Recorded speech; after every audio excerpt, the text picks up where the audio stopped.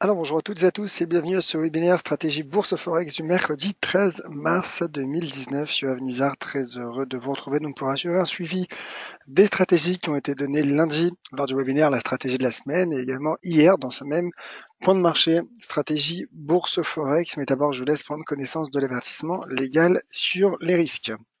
Le trading avec effet de levier amplifie toujours les gains et les pertes. Un compte risque limité présente un risque de perte du capital investi. L'investissement sur le compte titre présente un risque de perte en capital. IG fournit exclusivement un service d'exécution d'ordre. Cette présentation est de net indicatif et ne saurait être considérée comme un conseil ou une recommandation. Voilà donc pour cet avertissement légal sur les risques et euh, je vous rappelle hein, bien sûr que vous disposez du chat pour réagir et me poser toutes vos questions.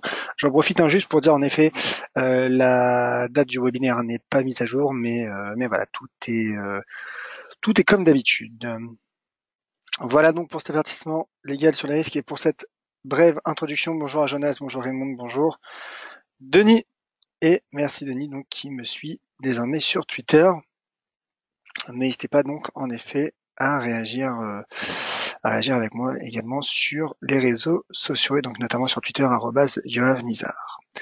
Alors c'est parti pour ce webinaire. Je parlais bien sûr hein, de la livre sterling avec l'accord Brexit qui a été rejeté hier par le Parlement avec 149 voix d'écart. Mais d'abord, je vais juste euh, bah, parler bien sûr du, euh, du dollar américain qui poursuit son repli sous cette résistance à 97.70. Et donc là, en effet, à court terme, je pense que le risque baissier à court terme, hein, bien sûr, est maintenu sur le dollar américain, qui malgré finalement son rebond, ne parvient pas, vous voyez, à franchir, ne parvient pas à franchir euh, cette, euh, n'est pas parvenu à franchir cette résistance. Et donc, il préserve cette tendance latérale et retombe en direction de ses niveaux de support à 96.55 et 96 points. Donc, risque technique baissier, selon moi, sur le dollar américain, qui se, qui se matérialise sur les paires en dollars et notamment sur l'euro dollar, vous voyez, qui remonte, qui remonte et qui atteint 1,13, vous voyez, le cours de l'euro dollar qui teste euh, cette, euh, cette, euh, ce, niveau, un seuil d'inversion de polarité majeur en données hebdomadaires notamment à 1,13. Et je vais simplement revenir sur le graphique, sur le graphique en données 4 heures que je vous ai proposé hier, parce que c'est vrai que c'est un graphique intéressant. Vous voyez. Donc il y a bien eu franchissement des 23,6% de Fibonacci. Vous voyez, retracement de toute cette baisse de, de, l'entame d'année 2019, euh, qui correspond donc également à un ancien niveau de support, un ancien niveau de support qui a été cassé d'ailleurs suite à la BCE, mais qui est de nouveau franchi à 1,1267. Donc là, c'est vrai que le cours teste 1,13, et euh, je me dis en effet que en tout cas à ce stade, il pourrait en effet euh, atteindre donc cette droite de tendance baissière située à proximité, vous voyez, des 50% de retracement donc à 1,1373 et donc, donc, et donc de ce seuil d'inversion de polarité à 1,14, 1,1404. On verra s'il parviendra ou non à franchir. Techniquement, il reste encore, il reste encore une marge de progression. Alors c'est vrai que donner cette stratégie à ce moment de l'évolution, tout de suite, ne permet peut-être pas d'optimiser son ratio R3, mais c'est vrai que ces scénarios ont été donnés notamment euh, bah, en début de semaine, notamment euh, bah, en webinaire et également à travers un article que vous retrouver sur dailyfix.fr que j'ai publié hier matin justement, dans lequel euh, j'expliquais, je mettais en relation justement cet indice DXY que je vous ai présenté il y a un instant, ce repli donc du, du DXY et ce potentiel donc de l'euro-dollar vers 1,14. Voilà donc pour le taux de change euro-dollar qui progresse, qui progresse en direction de 1,14 mais qui, qui bénéficie surtout du recul du dollar américain. Alors je parlais justement de la livre sterling et du dollar américain, le GBP USD. La livre sterling qui tente de, de rebondir en tout cas face au dollar américain, face à un dollar américain qui se replie. Techniquement, c'est vrai que c'est intéressant parce que le GBP USD, malgré finalement ce regain de volatilité euh, apparu ces derniers jours, et qui est d'ailleurs euh, qui est d'ailleurs euh, euh, qui est toujours attendu hein, parce que c'est vrai qu'il y a encore deux votes du Parlement ce soir concernant l'option no deal ou pas est-ce qu'un Brexit en accord pourrait être euh, mis sur la table des négociations ou pas? Donc le Parlement se prononcera ce soir. Et euh, s'il est rejeté, bien sûr, si le vote de ce soir est de nouveau rejeté, donc le, le Parlement euh, votera demain également, demain soir, pour savoir s'il souhaite prolonger ou non le Brexit. de bah, potentiellement donc de trois mois car il y a les élections européennes au mois de mai. Donc, donc c'est vrai qu'on va, on en saura un peu plus, je pense, d'ici demain soir concernant le Brexit. Mais pour le moment, c'est vrai que c'est le flou assez assez complet hein, sur sur ce sur dossier Brexit. En tout cas, techniquement, et bien que par principe, bien sûr, je préfère rester à l'écart sur les paires en livre sterling, en raison de ce, de ce programme, programme de volatilité, de toutes ces, incertitudes euh, bah, liées, à, liées à, au, Brexit. Hein, donc, euh, techniquement, en tout cas, le GBP USD, vous voyez, parvenir à rebondir au-dessus de cette zone de support composée donc de ce droit de tendance haussière qui part de ce creux du 2 janvier et de ce seuil à 1,30 qui est d'une part un seuil technique, symbolique, mais également qui correspond au 38,2% de retracement de toute cette hausse. Donc, euh, donc voilà, hein, le, GBP USD n'a pas cassé son niveau de support, il n'a pas non plus franchi cette zone de résistance à 1,3318 et 1,3350. Je pense que le signal technique haussier pourrait être donné en cas de breakout de cette zone, auquel cas le cours pourrait atteindre à court terme 1,3460 et 1,36 10, qui sont donc respectivement un ancien support et une résistance. Voilà pour le GBP-USD. Je poursuis sur la livre sterling avec l'euro GBP. L'euro GBP qui se replie aussi. vous voyez, rebond hein, de la livre. Mais, euh, mais là, c'est vrai que pour le coup, la configuration, à moi, me paraît clairement euh, indécise. Pourquoi? Car, euh, car le cours car le cours, vous voyez, euh, alors déjà, je vais me mettre en données journalières. Hein. je pense que ce sera plus clair pour vous.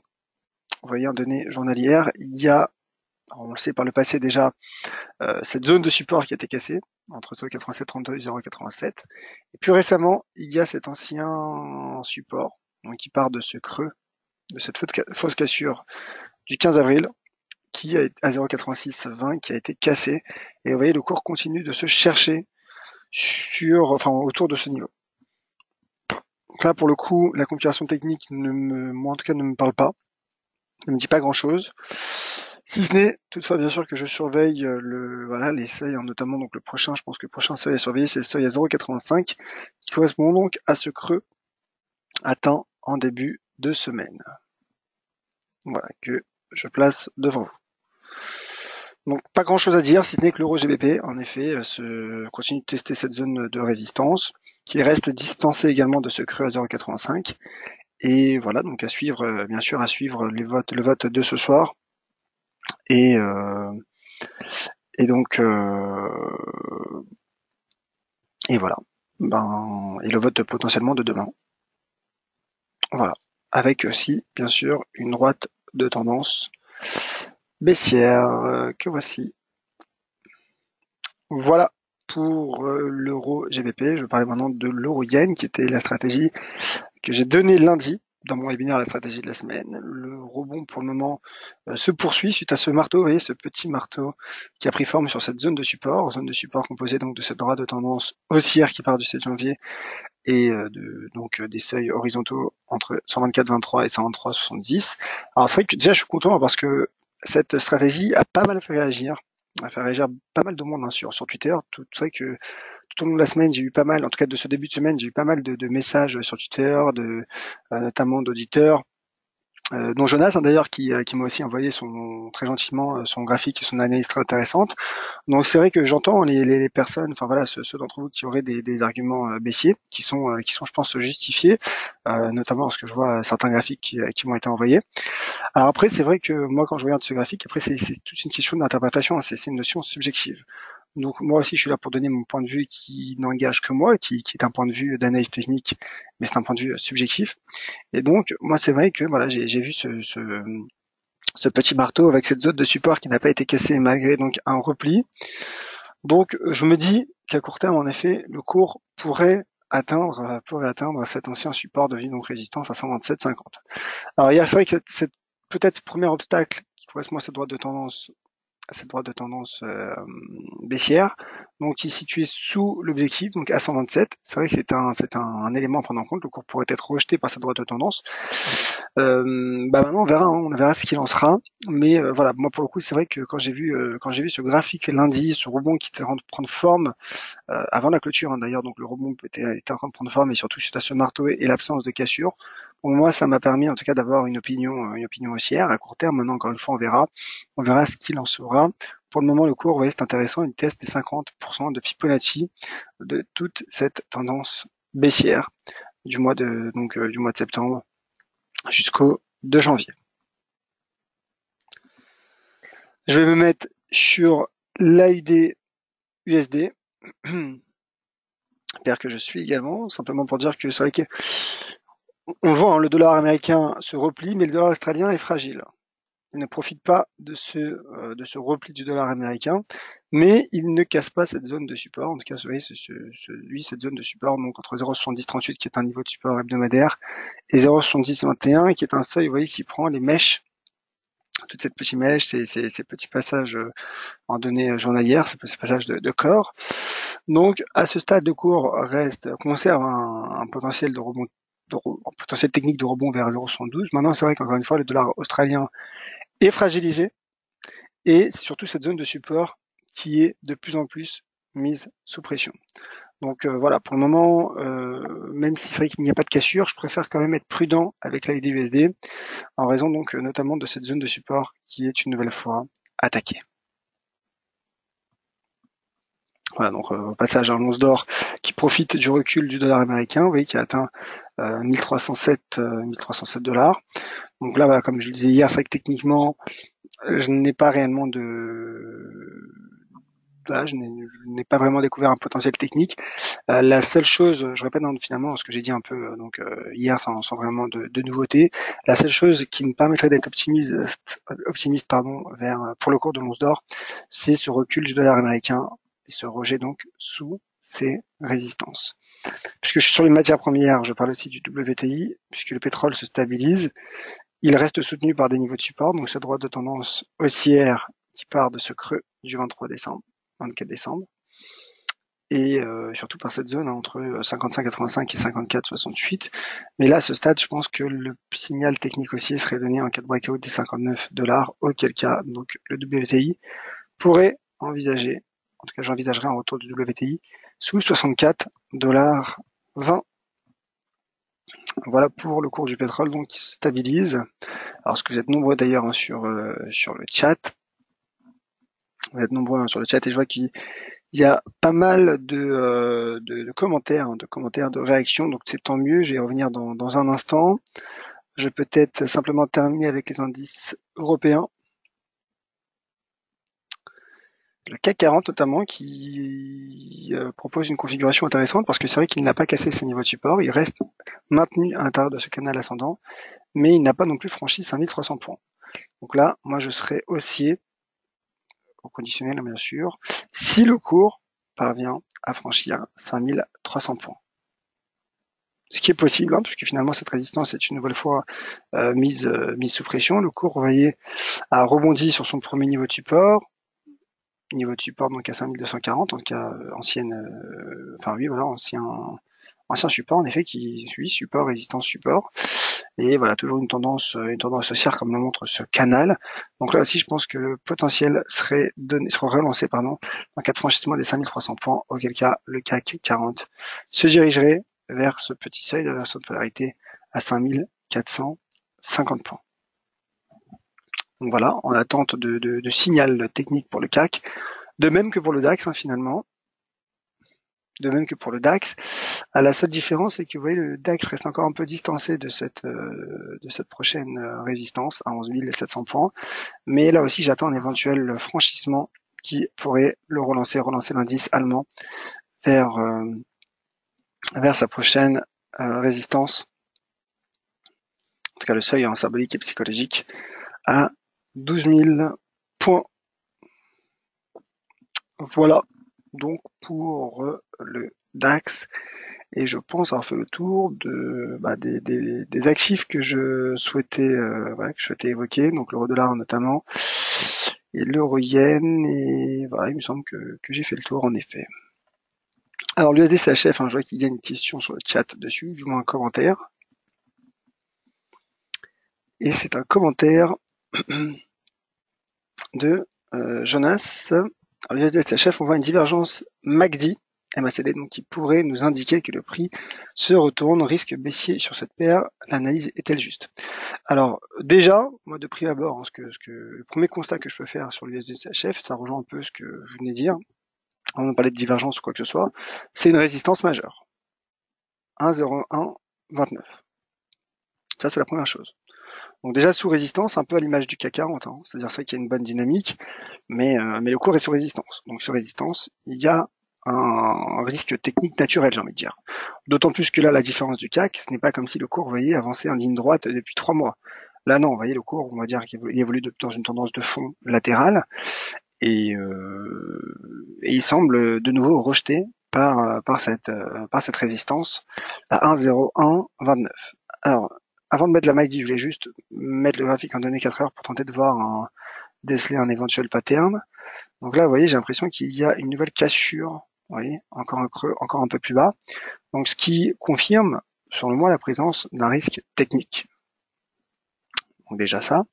Maintenant, je vais mettre la MACD.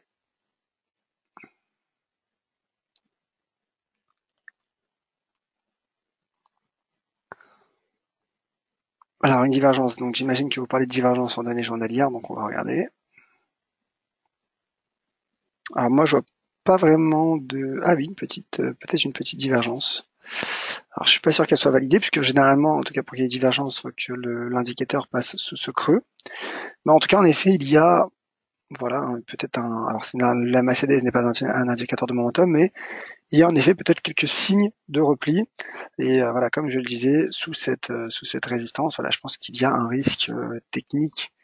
Il y a un risque technique, vous voyez, qui pourrait qui pourrait d'ailleurs donc reconduire reconduire l'USD CHF vers ses niveaux de support. D'autant plus, voyez que cette résistance est également une résistance hebdomadaire euh, et, donc en effet, je pense qu'il y a un risque technique sur cette paire. Le franchissement bien sûr de ce niveau écarterait ce risque et relancerait le potentiel de l'USD CHF. Bien en tout cas, on verra ce qu'il en sera. Merci mon cher Jonas. Alors Denis, Denis donc qui réagit sur l'euro yen. Alors c'est vrai qu'on est euh, pas loin des 126, mais euh, mon objectif est à 127, 127,50, donc on a encore il y a encore de la marge, hein. il n'est pas encore, il est encore loin euh, d'être atteint. Alors, euh, l'euro-dollar tente tout juste de briquer les 1,13, en effet, un test de l'euro-dollar, comme je le disais. C'est un no short très fort de la livre sterling et du FTSE. Écoutez, on verra. On verra, c'est vrai que c'est tellement indécis que, que c'est difficile de, de, se projeter de cette manière. Dollar australien fragilisé en dépit de la hausse du gold, me demande-t-on. Alors, euh, moi je pense que c'est plutôt le... Alors en effet, il est fragilisé aussi euh, le, dollar australien, plutôt, je pense, c'est vrai qu'il y a une corrélation, mais je pense que c'est plutôt vis-à-vis de la politique euh, de la politique de la de.